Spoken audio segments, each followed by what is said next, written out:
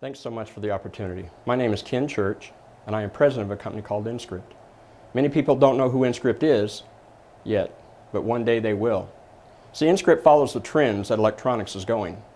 And while most people don't realize electronics has been moving and transitioning from one genre to another, from one state to another, the next one to come is called disposable electronics or printable electronics. And that's where we ride. A tidal wave is coming, and we plan on being with that tidal wave. You have to be very careful because one of the things that can happen is you can get swallowed in all of that.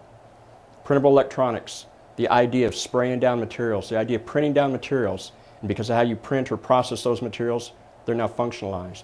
In other words, can you imagine going to Walmart one day and you see a screen as big as a wall, you say, cut me off part of that screen, and they're going to cut it off, put it in a tube, you're going to take it home, unfold it, paste it on your wall, and plug it in, and it's your new television.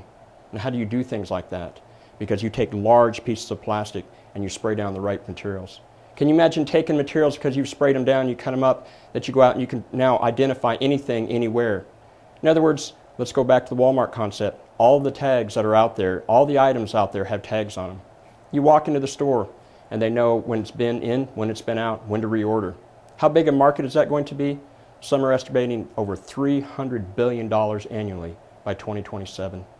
We're here to ride that wave. We're here to make a difference. We've been here for almost five years, and we're proud to call this home. We're excited about that. And I've got to tell you, when you're out there looking, you're looking for a place to go as a technologist, and that's what I am. And I can't help that. But as a technologist, you're looking for people who want to do technology. You're looking for people who want to make a difference, people who can create jobs and the kinds of jobs that they can create that pay high wages that people want to have. And where are you going to find that? There's only one place to find that, and that's in high technology. What state will do that? Well, there's many states out there and they're courting, but I got to tell you, when we started looking around the Florida High Technology Corridor, that was interesting to us.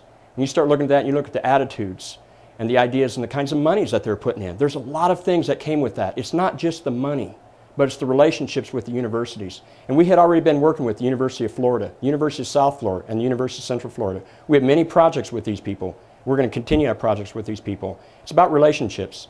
And the relationships we have are not just with universities, but it's also this state and it's this corridor. It become very important and we are moving in the direction that we need to. And I've got to tell you something else. We're not a stingy bunch of folks. And I mean that as Floridians. We're not stingy. We're going to go out worldwide and we've got the experience to do that. And that came from within Florida and the help is here and it resides here. So it's not just the technology, but what can you do with the technology and how do you transition that out? High Tech Florida Corridor, it's right here.